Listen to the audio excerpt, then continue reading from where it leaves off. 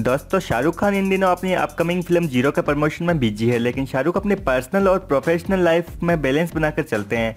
दोस्तों शाहरुख अपने बच्चों के साथ भी काफ़ी अच्छी बॉन्डिंग रखते हैं। वो अक्सर अपने बच्चों की उपलब्धियों के बारे में पोस्ट करते रहते हैं।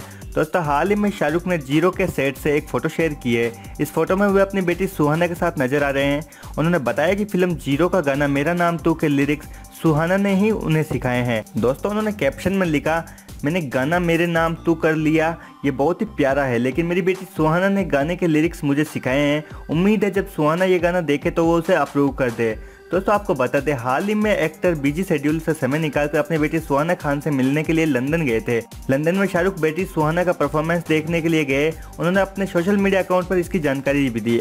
दोस्तों, शाहरुख ने सुहाना के प्ले की एक फ़ोटो इंस्टाग्राम पर भी शेयर की। इस इस प्ले में सुहाना ने जूलियट का किरदार निभाया था। वहीं शाहरुख के वर्क फंड की बात करें तो फ़िल्म ज़ीरो इक्कीस दिसंबर को रिलीज़ होगी। ये बड़े बजट की फ़िल्म है दोस्तों। किंग खान, मेरठ के बउआ सिंह का किरदार निभा रहे हैं, जो कद से बोना है। दोस्तों, लगभग छह साल बाद किसी फ़िल्म में शाहरुख अनुष्का और कैटरीना की जोड़ी नज़र आएगी। इससे पहले ये तिकड़ी जब तक है जान में दिखी थी, फ़िल्म का ट्रेलर शाहरुख खान के बर्थडे के मौके पर रिलीज़ किया गया था। दोस्तों, वीडियो पसंद आए तो लाइक करें कमेंट करें और चैनल को सब्सक्राइब करना ना भूलें।